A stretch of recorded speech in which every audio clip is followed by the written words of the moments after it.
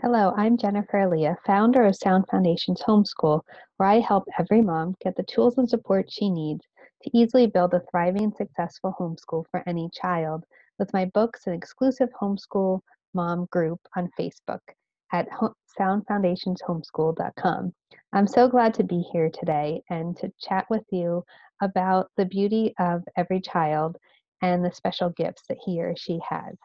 Um, I think that often in our culture today, we we look at the weaknesses and we look at um, keeping up and not not what isn't working, um, what our child can't do, what um, where we aren't winning, because everything is about winning and being on top and being first.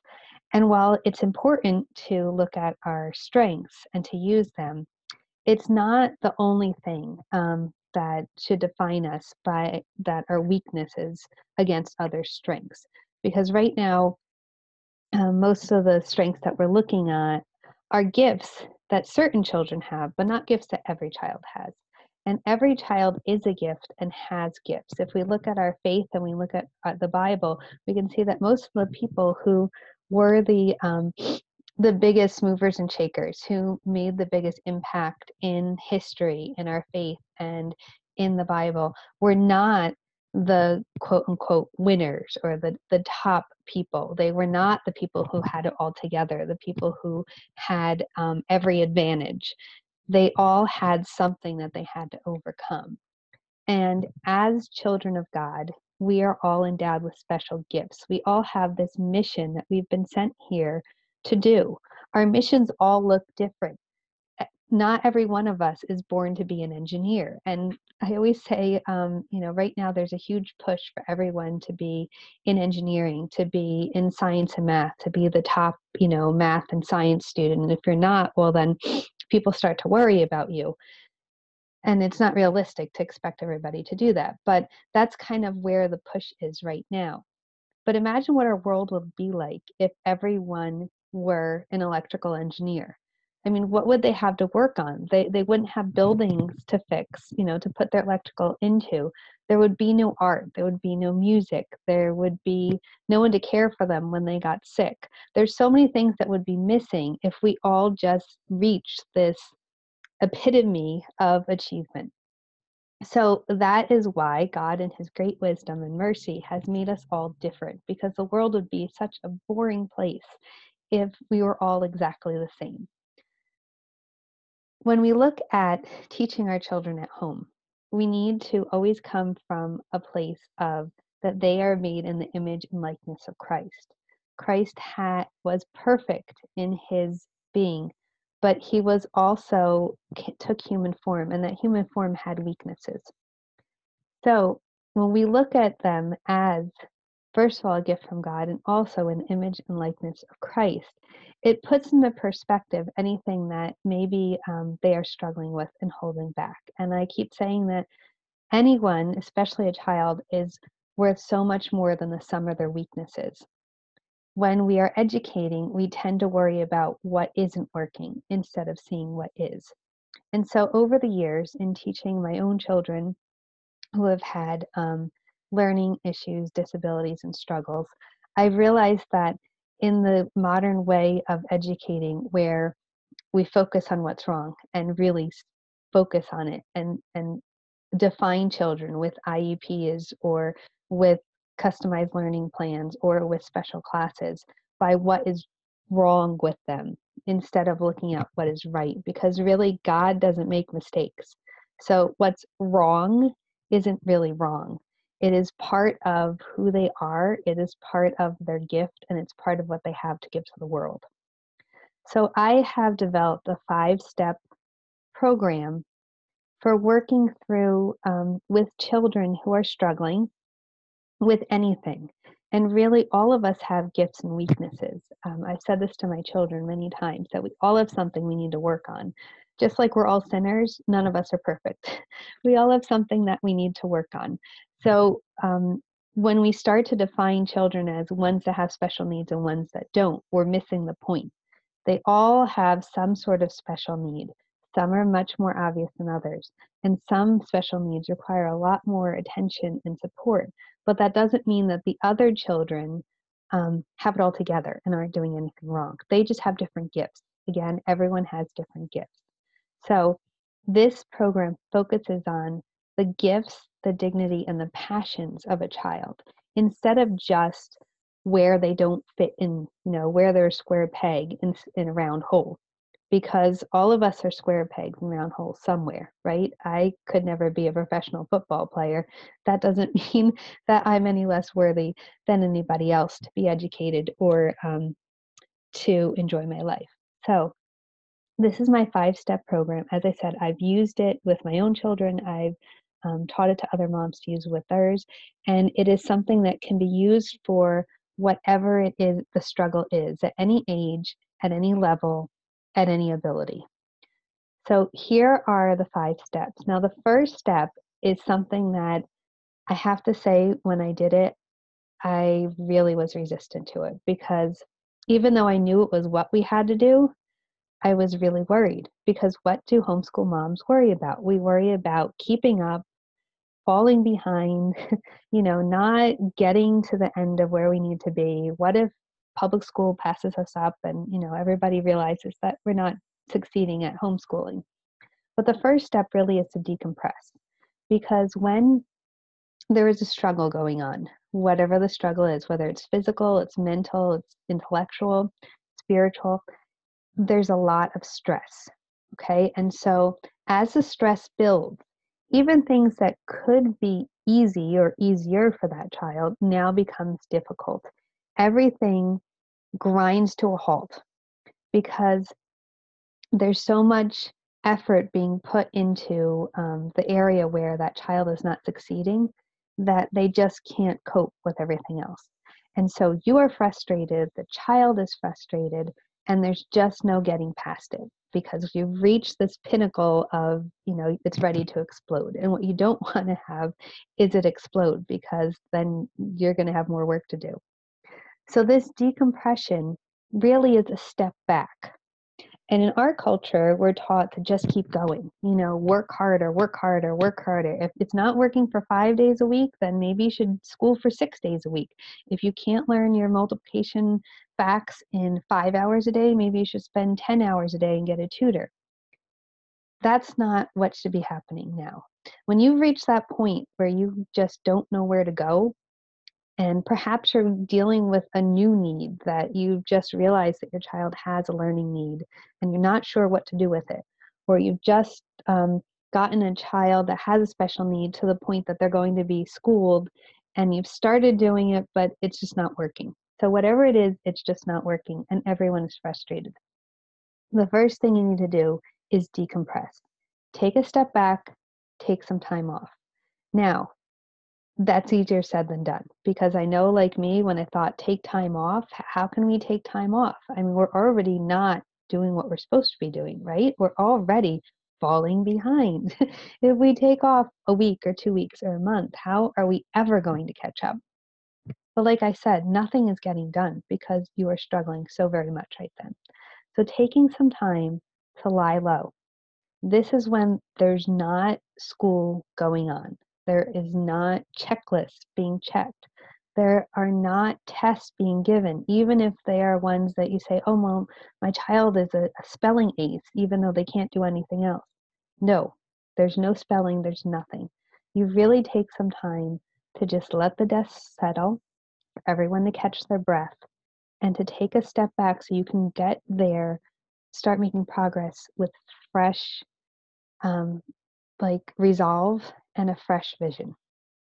During this decompression, which really should last um, at least a couple weeks, but could last a few months, there can still be learning going on, but it should not be structured learning. So, audiobooks, educational videos, um, field trips, just things that are enjoyable is what you should be doing so that you're not just letting you know letting it go and and letting them zone out on um, you know Dora and um, I don't even know. I'm trying to think. Uh, what do my kids like to watch? Oh, Daniel Tiger. yeah, Daniel Tiger. Um, anyway, you're not just letting them zone out on that or play video games for seven hours a day. Although if video games is how they burn off steam, maybe you let them do that a little bit more during this time. But you still want to be learning, but what you want to do is find learning that's enjoyable so that once again they can fall in love with learning. Because until this point, maybe at one point they loved learning, but now they've gotten to the point there's nothing to love about school. All it is is struggle and hard, and they don't love it.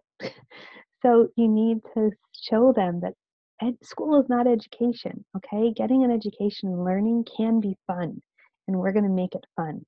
And if it takes six months for you to get through this whole process, then you know what? Those are six months well spent because when you get to the end to step five and you start again, you will start in such a better place and you will work much more efficiently and everyone will, will be on more sure footing. So in your decompression, just put everything away and stop because you are going to need to decompress too. Okay, and find some fun things, but maybe just do nothing for like three days and let your child get bored because boredom truly is the mother of invention. It's not just necessity. When kids get bored, they learn a lot about themselves. And in a culture that really shuns boredom and downtime and um, you know having nothing to do, that's a, that's really a disability to our children more than any of these other things that that they're telling us are disabilities. A disadvantage that our kids don't have that chance to do that. So provide that for your children, the chance to get bored, the chance of self-discovery, and um, the chance to just really invent their own learning. Once you've come to the end of this decompression phase, because at some point you're going to need a little bit more structure, but you've seen that things have settled down, maybe you've begun to see your child in a new light, you have um, a renewed will to make this work, um, you've had a chance to rest and recuperate. The second step is to assess strengths. Now, as I said, we always start with the weakness, right?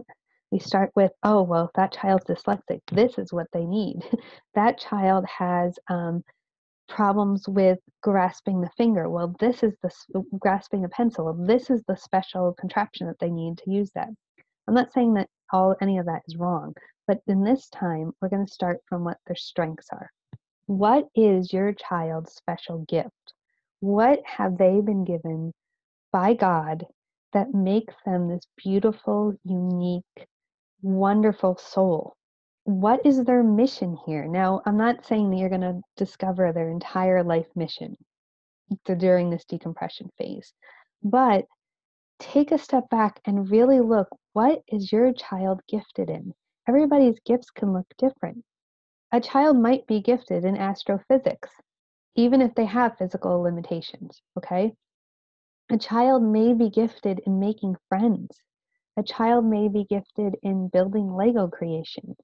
Um, a child may be gifted in making tea and serving it. Whatever that child's gift is, is a wonderful gift, and it's something that needs to be celebrated.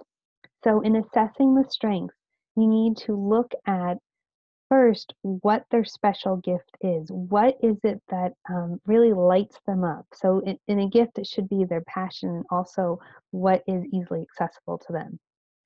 Because sometimes there's things that we can do quickly, easily, but we just don't enjoy them, right? Um, so, in assessing your strengths, you need to assess both of that. First of all, what can they physically, mentally, and intellectually do well um, because of their own gifts that have been given to them by our Creator?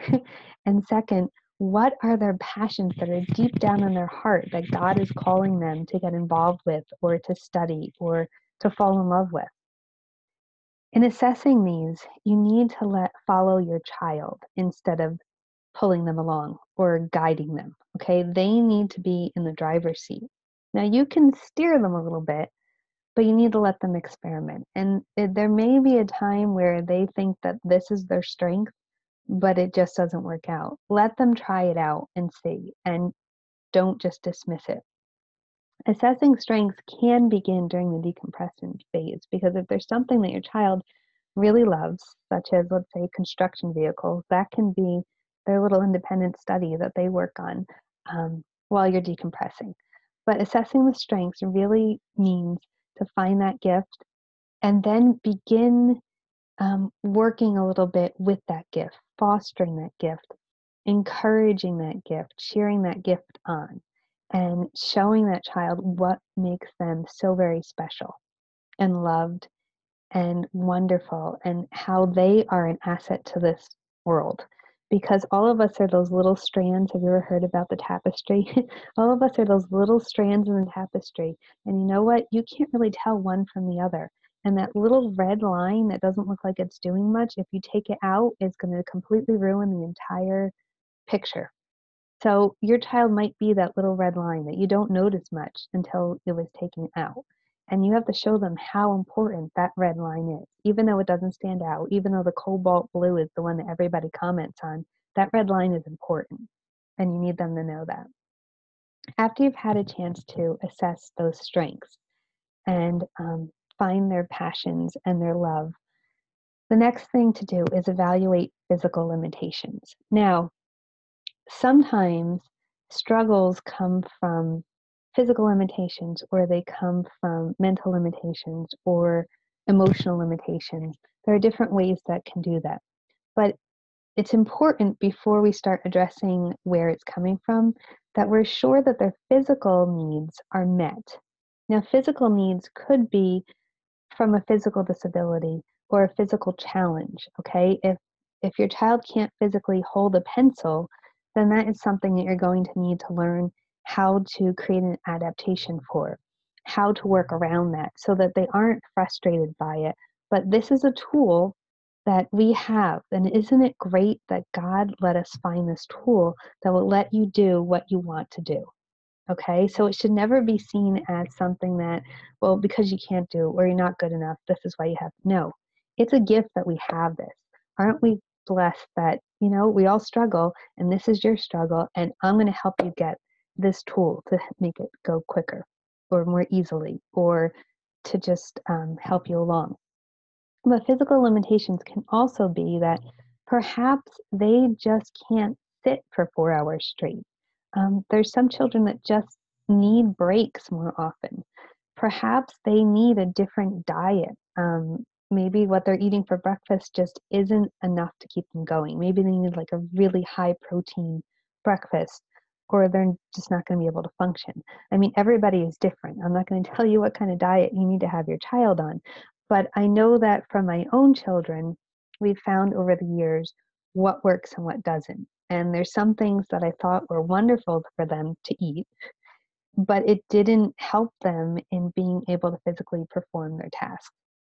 So, do they need a warmer environment? Do they need a cooler environment? Do they need a different workspace? I mean, there are many physical aspects to schooling and just existing in a home uh, that can be addressed. And it's something to take really time to think about because just because everyone starts school at let's say 8:30 doesn't mean that's what works best for your child. Maybe your child really needs to sleep until 10 and start school at 11:30 after they've had a chance to have a good breakfast and exercise or something and that will help them to get where they need to be, and that will bolster their strength, not work against it. So I really encourage you to be creative with this. Um, don't just start at the very surface area of, um, well, my child looks fine, or oh, I know that um, they have this problem. It really can go much deeper. Like I said, diet, um, temperature of the room, um, workspace, um, sitting environment, how long they're working, what they're getting to do in between subjects. So it's something that you really need to experiment with and try and see what um, what works best for your child and how he will thrive. And like I said, don't worry about what everybody else is doing. It doesn't have to look like everybody else. If your child does best when they have chicken and beef for breakfast, then have chicken and beef for breakfast and have eggs and pancakes for dinner it doesn't matter because we're all unique and honestly what difference does it make? Um, so now that you've decompressed you've bolstered those strengths you've addressed any kind of physical limitations or physical needs that are not being met the fourth step is to look is to find the weakness. Now for some children you may have known at the beginning what the weakness is.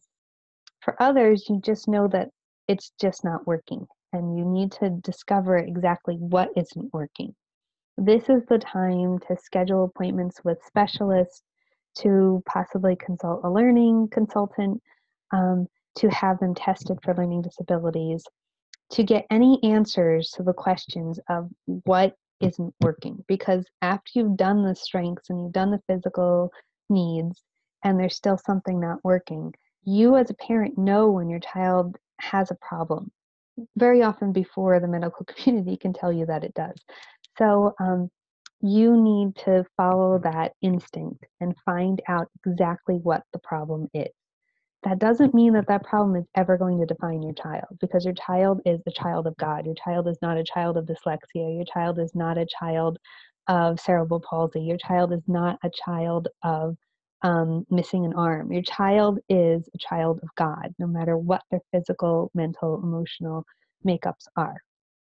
But finding that weakness and learning the strategies that you need that, as I said, may take a specialist to teach you what to do or a specialist to come in and work alongside you to give them the physical therapy, the occupational therapy, the speech therapy, whatever it is, is now where you are going to begin to build that child up to find what they need to get them from point A to point B. Now, their point A and point B could be very different than what your neighbor's point A and point B is. I mean, after all, God numbered our days, right? He created our days, He designed our days, He built our life, He has a plan for our life. And we are given free will, which is a wonderful blessing, but we all have something that we need to accomplish. And so, getting your child to be able to do what he or she wants and what he or she needs is really the focus of finding this weakness. It, it has no other bearing, okay? Because if your child needs a special tool or needs a special curriculum or needs a special therapy, this is the time to bring it in. You should never deny your child that. It's just that that should never be um, the first thing that defines them or your first plan of attack in education. It should always be that they are wonderful in X, Y, and Z. Um, in finding this weakness, you may have to have another decompression time because you you're going to need to get up to speed and know how to now address what you have found. If you already knew what the problem was or had a strong suspicion of it, this is the time to bring in the resources that you need, to do the research that you need, to hire someone to help you, to take extra classes, whatever it is that you need to be able to provide the education that your child needs. Um, it doesn't mean that you can't educate them. It doesn't mean that you can't be in charge of their education because, really, let's be honest, homeschooling doesn't mean that you are the only teacher of your child. What it means is that you are taking charge of their education. You are like the CEO of their education, and you are going to make sure that they get what they need and it's it's you know the buck stops here and i'm i'm going to take care of it. Now the reason why um, a parent is the best one to do this finding the weakness step is because a parent isn't going to just stop at finding the weakness or isn't going to say well this is what's wrong with them so here's their bar and once they reach that bar well that's good enough. Because you as a parent love your child. You know your child better than anyone will ever know that child and you have more of a vested interest than anyone in the world other than God in that child's well being, in their success in life, and in um, them fulfilling their vocation in this world.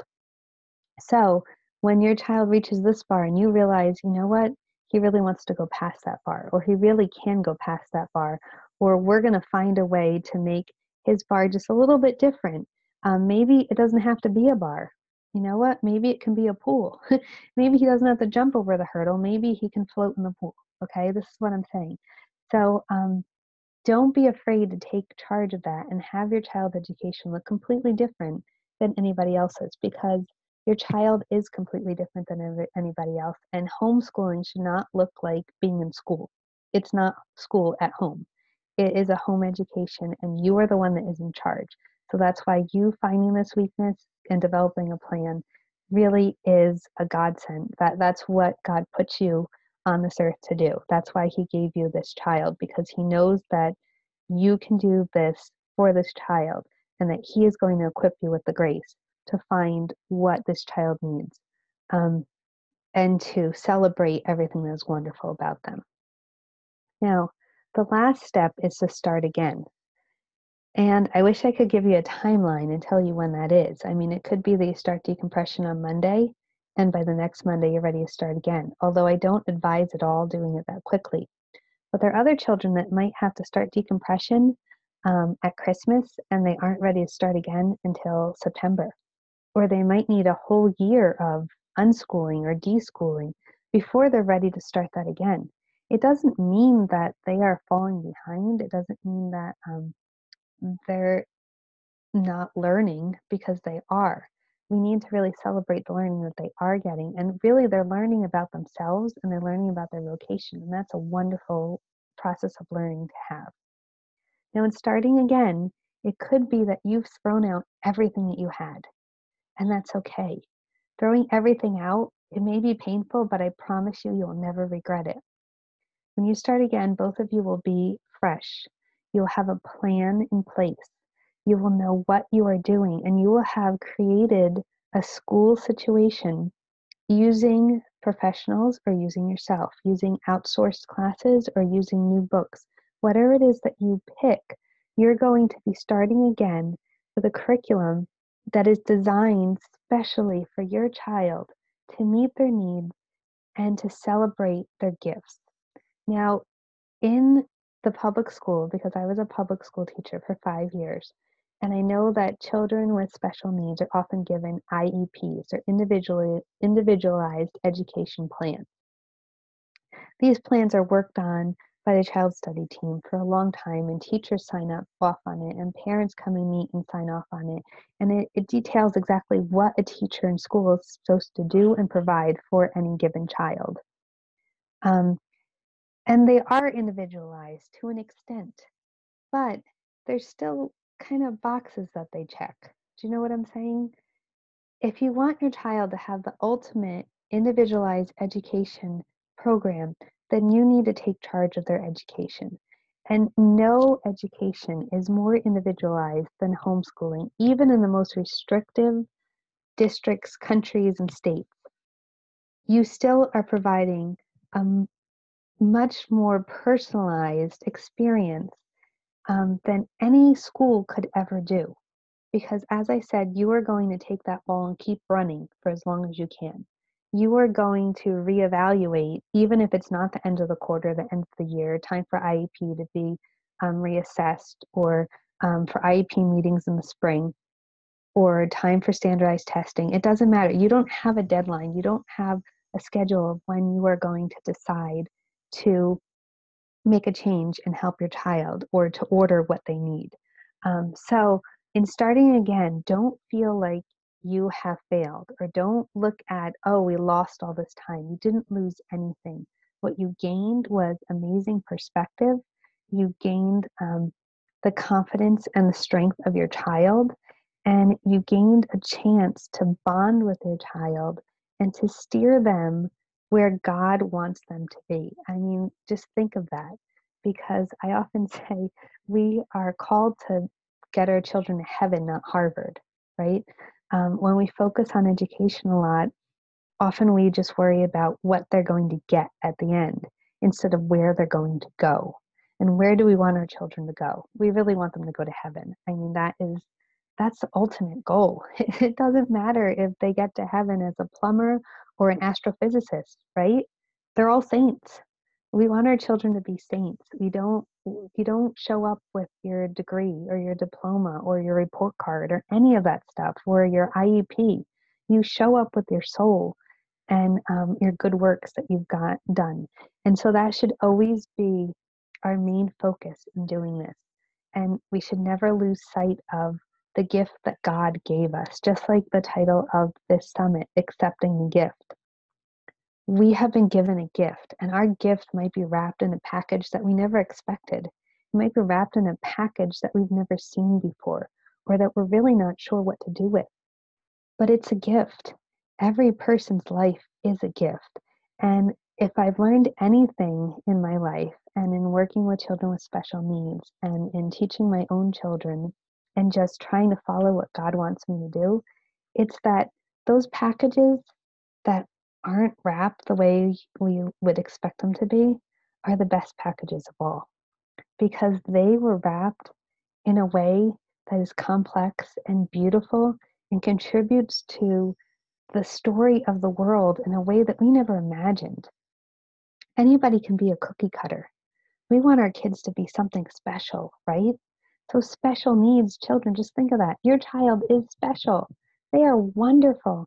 They are special gifts that were given to you. And gifts aren't always easy. I mean, in the Catholic tradition, a gift isn't that you have this wonderful thing and you open it up and it's like a fairy wand and now your house is perfect and your life is perfect and nobody ever gets sick. You know what? That's heaven.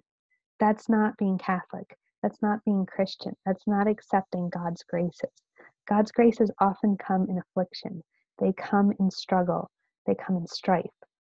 And so when we look at the saints and the martyrs and our beautiful history um, from our Judeo Christian roots, it's not the people that had perfect lives. I mean, Jesus was born in a manger to an, a young girl who was unwed and laid in straw with animals around him in the tiny, tiny, like forgotten village in the cold. Like, there's nothing romantic about that story other than that God loved us enough to do that, to suffer, to come down and really use his gifts in his weakness.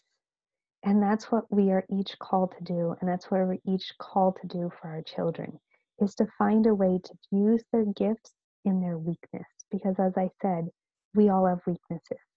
And it's those that struggle that really appreciate weaknesses a lot more than the rest of us. if you have had things easy, it's much harder for you to rely on God. It's much harder for you to grow in holiness and glory. So, while we always want the best for our children and we want to shelter them and we, we don't want them to hurt, no parent ever wants their child to hurt and struggle and suffer and um, be in pain physically or um, emotionally. That's what makes them grow. And those children that have the greatest thorns are the ones that are going to bring about the greatest fruit for God. So, in starting again, realize that you have done a wonderful thing for your child, even if it took a year, even if now you feel like, oh, my child should be in fourth grade, but we're only doing first grade math. You know what? Your child's going to do well at fourth, first grade math. And God bless them for doing it because really it isn't about grades. Until public education was created, there was no such thing as grades. Is your child learning? Is your child growing? Are they working to the best of their ability? Are they, you know, loving life? Are they bolstering their gifts and their passions and their vocation for life? Then you are succeeding, my friend. And I want to keep encouraging you to keep doing that, to keep serving your child in the best way that you can, and to seek the resources that you need to continue to do it without burning out because when you burn out that that doesn't help anybody you need support you need tools and so that is part of these steps too when you're going through it look at it on a two-sided scale. Um, the first is for your child and the second is for you. What does your child need? What do you need? What are your strengths? What are you really good at helping this child with? What do you need some help with doing? Because i know that there were definitely things that I had to learn. and most of it had to do with things that I thought were, you know, everybody should be able to do or or uh, like I did really well and couldn't understand why my child couldn't. So there were definitely things that I had to learn, there were weaknesses that I had to overcome, and there were passions that I had to find um, in our own journey. I thank you for being with me today, and I really hope that this talk inspired you to accept the gift of your child as they are, as a beautiful, wonderful, blessed child of God, and to take the time to go through these steps so that they can have a wonderful individualized education that leads them to heaven. Thank you and God bless.